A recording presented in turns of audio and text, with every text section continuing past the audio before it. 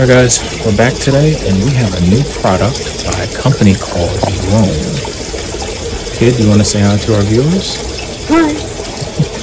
Alright, so this is a cool product. So this is called the original square pie iron. And don't touch it because it's hot.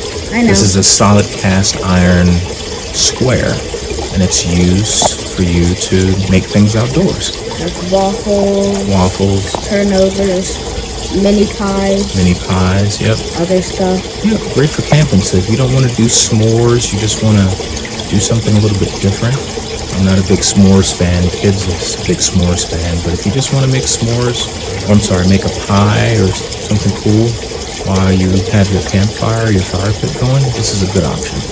So what we're trying to do here, we have the fire pit going, and we are trying to create an apple turnover. This is a really cool product. You can get this from your local um, maybe your sporting goods store or maybe an outdoor store. Good for camping. If you want to get a pie or turnover or maybe make a waffle or something while you're camping, this is a really cool thing. Only thing is, it's kind of hot. Um, hard to hold this thing in with all the heat. Kids fanning the fire to get it going. And I believe you have to rotate it after a while, so I'm going to rotate it. So That's just want um, the perfect spot to make it so kid, are you excited about this? Yeah. Tell our viewers what you think. You think it's going to taste good?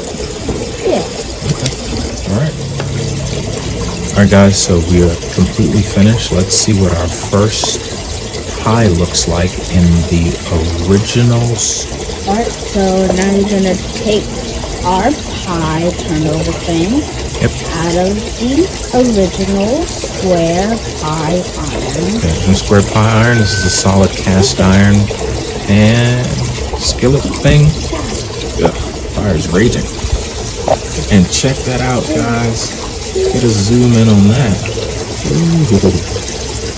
We have some nice apples made in a cast iron. Is that seriously just apples? I think so. Well, we just tried it out just to start it off. But this is pretty cool. Like I said, if you guys don't want to, um, well, actually, you know what? Before we do this, let me flip this thing over and see what the other side looks like. All right, kid. What do you think? Think we're gonna get the same results? No. No, there's a surprise. Look at that. It's. That's, ooh, look at that. You hear that crackling, guys? That's awesome. That looks good.